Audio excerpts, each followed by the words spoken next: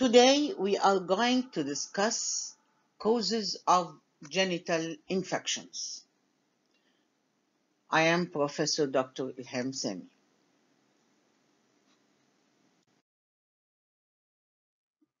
By the end of this lecture, we will be able to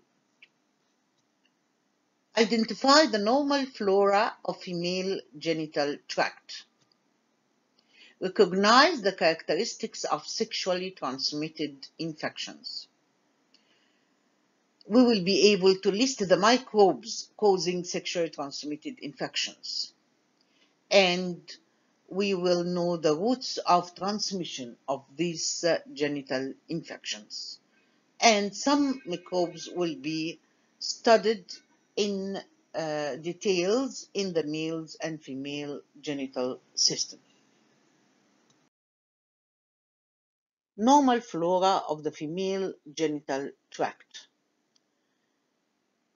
Lactobacillus. Lactobacillus or lactobacilli are a group of gram-positive bacilli. They are present inside the vagina, inside the distal urethra, and near the external urethral opening.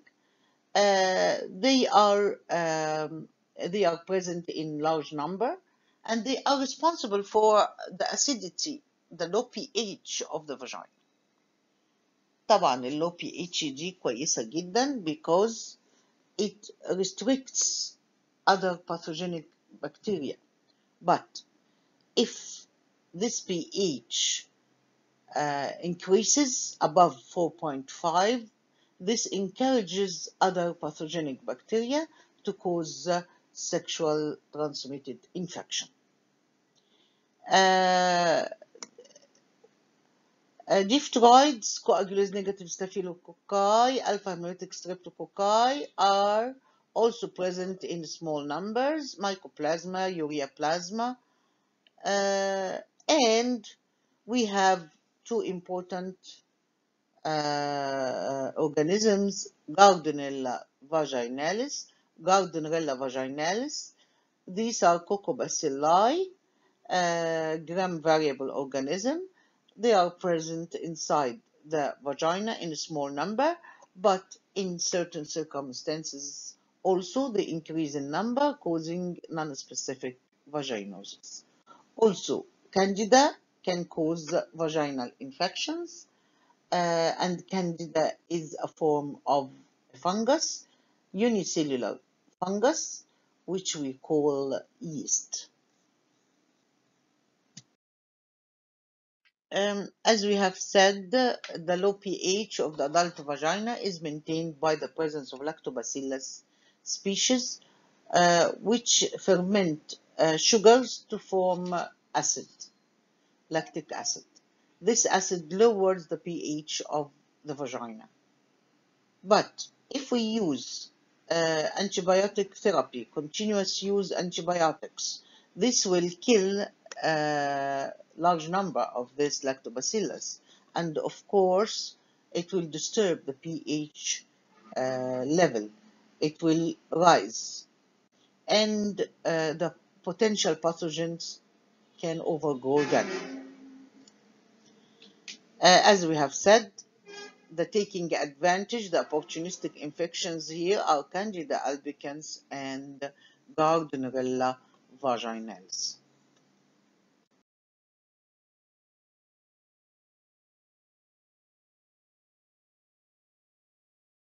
Sexually transmitted infections.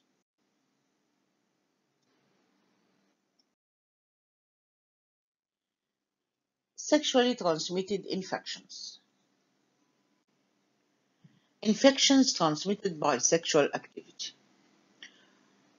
What makes sexual activity is an easy way of transmitting infection.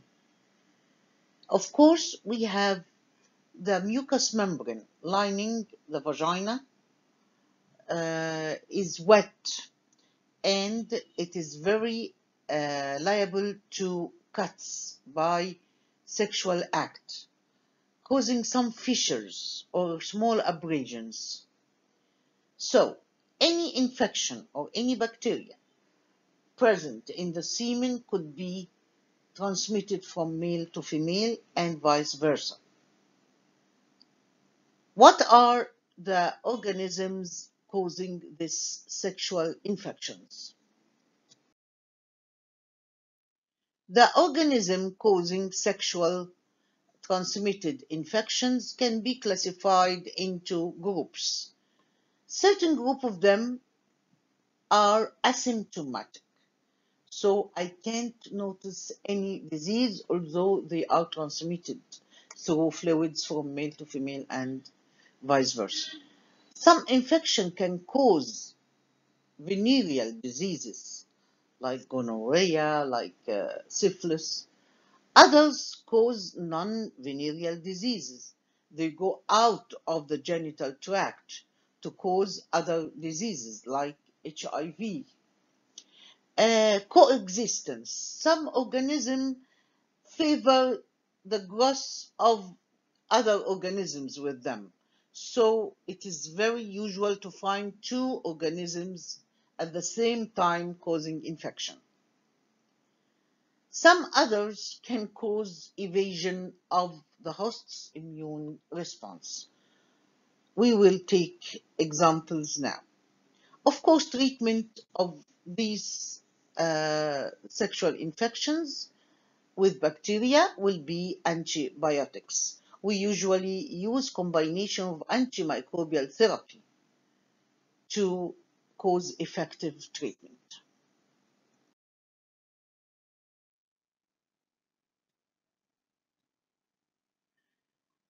Common microbial causes of sexual transmitted infections. Bacterial, of course there is bacterial and viral.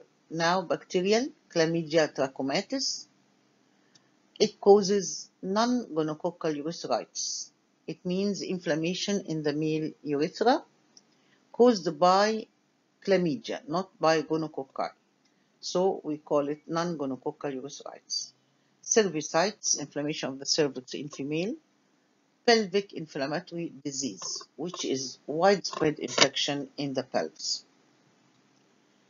Number two, Neisseria gonorrhea. These are gram-negative gonococci. They cause a disease called gonorrhea. Uh, Treponema pallidum, it's a spiral bacteria. It causes what we call syphilis. There are other less common causes of sexual transmitted infections, like mycoplasma. It causes also non-gonococcal urethritis, cervicitis, and pelvic inflammatory disease. Ureaplasma.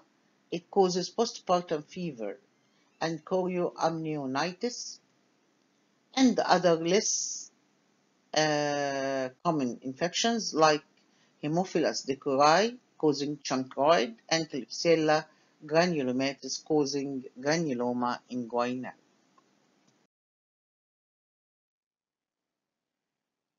As well as bacterial causes of sexual transmitted infection, there is also fungal cause, which is Candida uh, group, mainly Candida albicans, causing genital candidiasis. Also, there is uh, there are many viruses causing sexually transmitted infections. We will study them in the following lectures.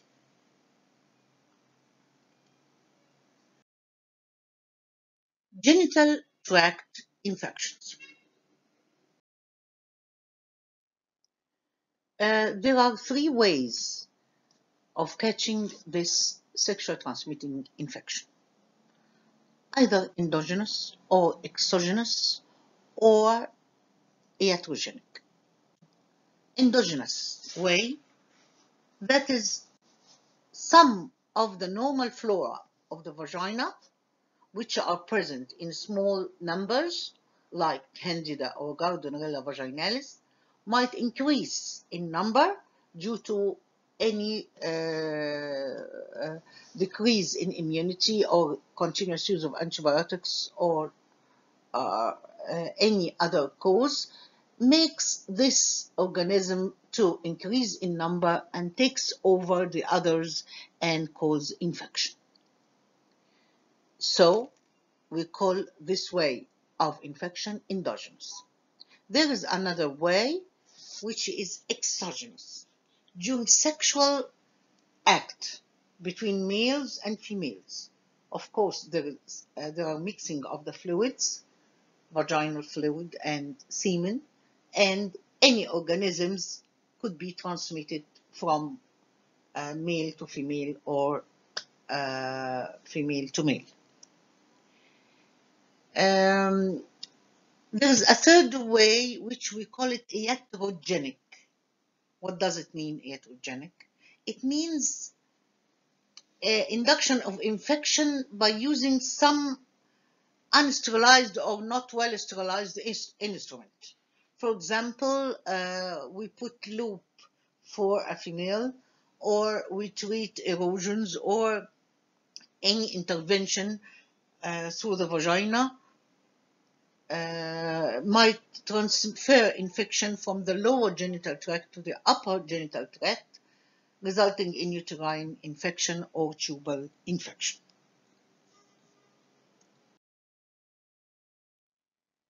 Chlamydia trachomatis. We will discuss Chlamydia trachomatis, which is one of the chlamydia group causing sexual transmitted infections. Chlamydia are a group of gram-negative bacteria. They are very small bacteria, measured around 250 to 400 nanometers. They live inside cells. They cannot exist long outside the cell. It exists in two forms. First, as what we call elementary body. This elementary body is capable of attaching to the cells of the uh, reproductive system and it enters by phagocytosis inside this cell or by endocytosis inside this cell. Once it enters, it will develop into another form which is reticulate body. So the infectious stage is the elementary body.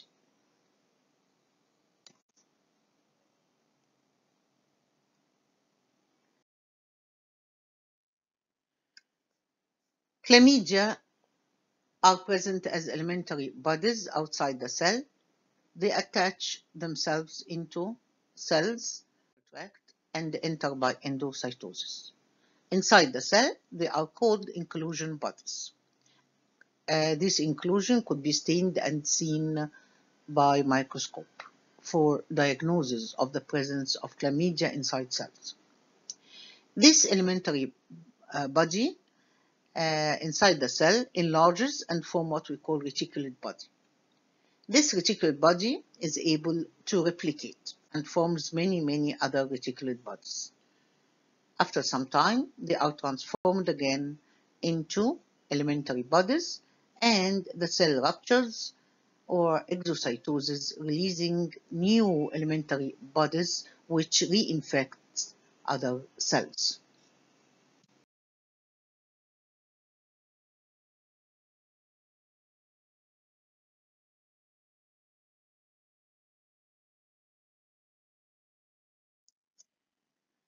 Chlamydia trachomatis has 15 uh, serotypes. A, B, C cause uh, trachoma in the eye. But here we will discuss sexual transmitted infections caused by serotypes from D till K. These serotypes cause sexually transmitted infection or chlamydia trachomatis infections.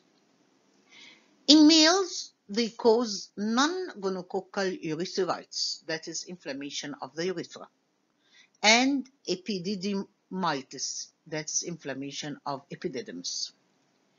In females, they affect the cervix, causing mucopurulent cervicitis.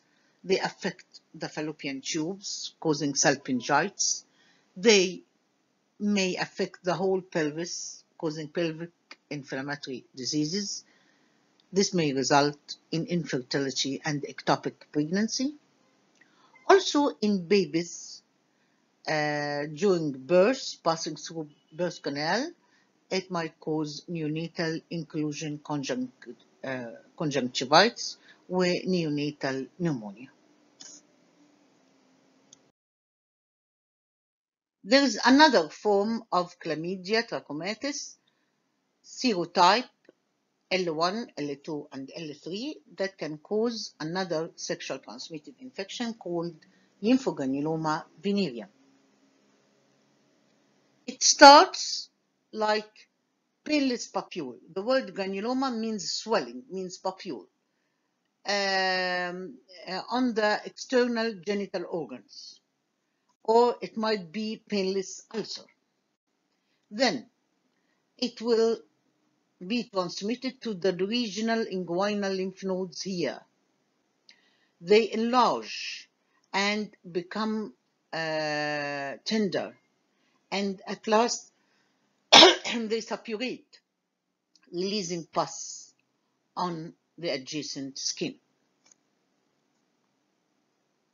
Healing occurs by formation of a scar, which will lead to stricture in the lymphatic vessels. And this is very dangerous. You know, lymphatic vessels drain the fluids and the tissue fluids back to the veins. So here, this fluid will accumulate and will cause swelling in the genital area, what we call genital elephantiasis. This is, of course, a late stage.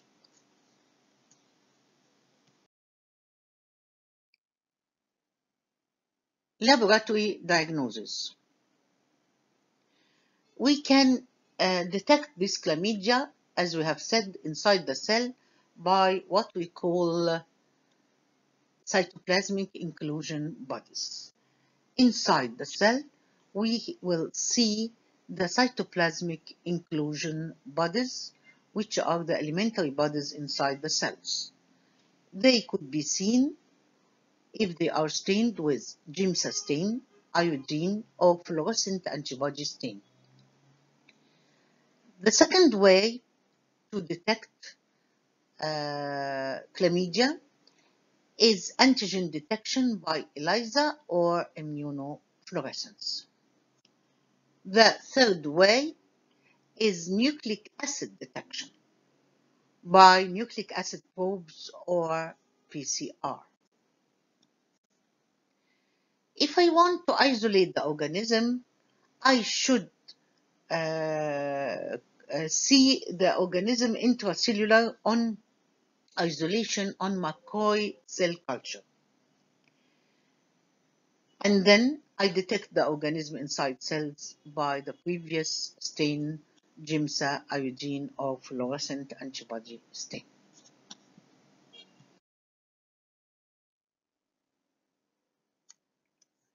Effective treatment includes azithromycin, which is a macrolide, and doxycycline, which is a type of tetracycline. Treatment should target both patients, the male and the female, and their sexual partners, of course. Safe sexual practices are to be done to prevent cross-infection.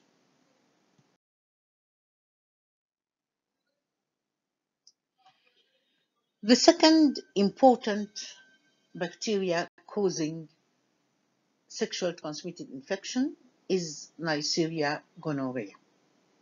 Neisseria gonorrhea is one of two types of Neisseria. One is Neisseria meningitidis, causing meningitis, and the other is Neisseria gonorrhea, causing a disease, sexual transmitted disease called gonorrhea. There are some commensal non-pathogenic Neisseria present in the vagina. Not all Neisseria present are pathogenic. Um, gonococci are relatively fragile organisms. What does it mean fragile? Yani they get destroyed by uh, temperature, dryness, ultraviolet light, and other environmental conditions. Morphology. Under the microscope, we can see uh, gonococci as gram-negative cocci arranged in pairs with adjacent surfaces flat or slightly concave, giving kidney-shaped appearance. In clinical specimen, of course in pus, I will find this uh, organism inside and outside pus cells. Uh, motility, they are uh, motile with twitching motility and possesses villi that enable them to adhere to the surface and are non-spore forming.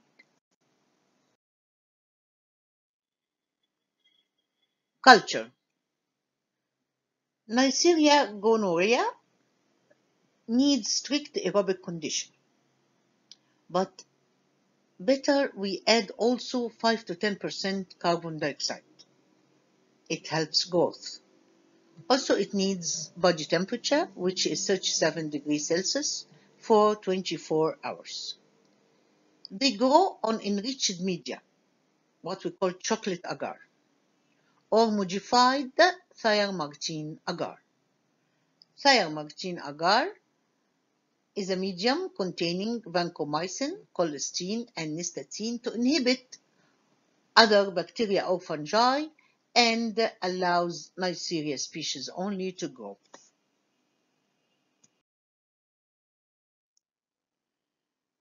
Biochemical reactions. All Neisseria are oxidase and catalase positive. Neisseria gonorrhea, which is the pathogenic Neisseria, utilizes or ferments only glucose with the production of acid only. Other commensal Neisseria show variable sugar fermentation. Antigenic structure and virulence factors. Neisseria has pili. They help attachment of the organism to mucosal cells. Neisseria gonorrhea uses type 4 pilus, which produce twitching motility to attach itself to the cells in the vagina or in the infection site. Other virulence factors include surface proteins, which help in attachment of the bacteria to the host cells. Also, lipo-oligosaccharides. There are type of lipopolysaccharides uh, in the cell wall. Immunoglobulin A proteases. These are proteins that breaks down immunoglobulin A antibodies. The diagram shows that immunoglobulin A proteases produced by Neisseria and other organisms like Haemophilus or Streptococcus can break down the immunoglobulin A1 uh, antibodies present on the surface of mucosal cells into pieces and thus stop this defense mechanism.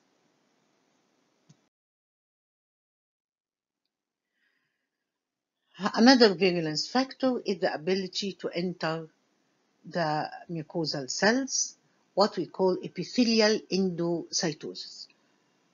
After attachment of gonococci to the surface of mucosal cell, the cells undergo endocytosis. This is similar to phagocytosis. And here gonococci will live inside vacuoles to be protected against antibodies or antimicrobial agents. These vacuoles transport the bacteria to the base of the cell where they are exocytosed outside the cell to be disseminated through blood to other parts of the body. Diseases caused by gonococci. Gonococci cause two types of infection. venereal infection and non-venereal gonococcal infections. How do they do this? Uh, as we have said, gonococci attack the mucous membrane of uh, genitourinary tract, producing suppuration, followed by chronic inflammatory inflammation and fibrosis.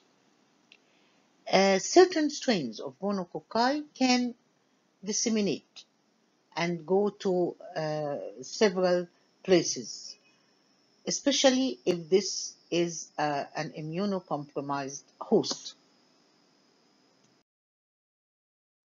In male, gonococci causes first acute gonorrhea. It starts two to five days after exposure to infection, usually at the anterior urethra, with purulent profuse discharge and painful micturition. Later on, after two weeks, it extends to the posterior urethra with increasing dysuria and polyuria and the discharge decreases.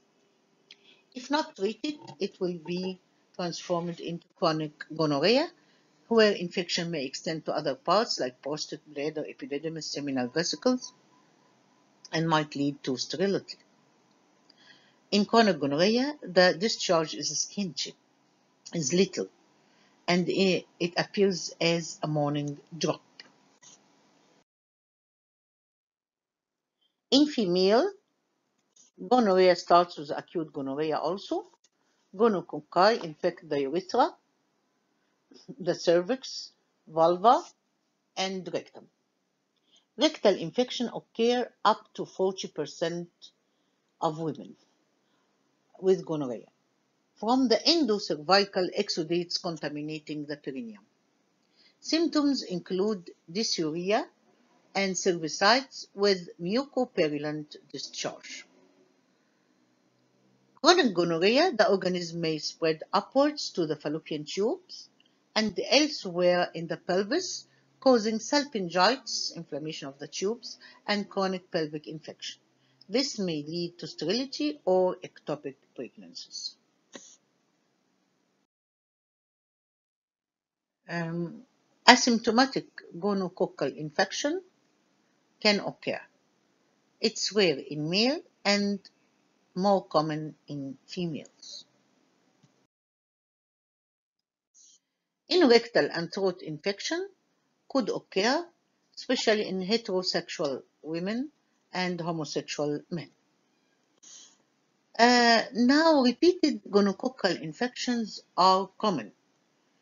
يعني ممكن واحدة أو واحد يخف وبعدين يرجع ياخد تاني الجونوكوكاي ليه الإميونيتي بتاعتها مش لونج ستاندينج أولا لأن عندنا antigenic heterogeneity يعني there are many serotypes كمان عندنا antigenic shifts كتيرة in the pili and surface protein they change the composition of their antigens كمان the superficial nature of infection بتخلي الاميونوجلوبولين G which are common in blood does, uh, do not reach this site of infection اللي بيتعامل هو secretory immunoglobulin A لكن لو نفتكر احنا قلنا في virulence factor called immunoglobulin A protease uh, بيكسر هذا الاميونوجلوبولين A uh, non-venereal gonococcal infections A. Vulvovaginitis in young female In young female بعكس old females the vagina get infected through sharing towels or toilet seats. كمان sometimes يحصل لنا gonococcal bacteremia although it is rare but if it happens it will cause hemorrhagic papules and pustules, tenosynovitis and arthritis, endocarditis and meningitis. كمان عندنا ophthalmia neonatorum infection of the eyes of babies. Laboratory diagnosis. Diagnosis of acute gonorrhea in male. We take direct smear from the discharge. A diagnosis of chronic male and acute and chronic female gonorrhea by specimen or direct smears stained with gram. Culture on chocolate agar or modified Thayer-Martin medium. Under the microscopic examination, we can see the intracellular and extracellular gonococci, kidney-shaped diplococci, and by biochemical reactions, we can notice fermentation of glucose. Recent methods for diagnosis of gonococci include immunofluorescence, ELISA, and DNA. Prevention and treatment. Prevention. To prevent sexually transmitted infection, usually use a condom. Uh, rapid promote treatment of symptoms before it is transformed into chronic stage. Ophthalmia neonatal for uh, the babies is prevented by erythromycin ointment. To treat established infection, we use antibiotic called ceftriaxone. It is the treatment of choice. Plus azithromycin or doxycycline for possible chlamydial co-infection.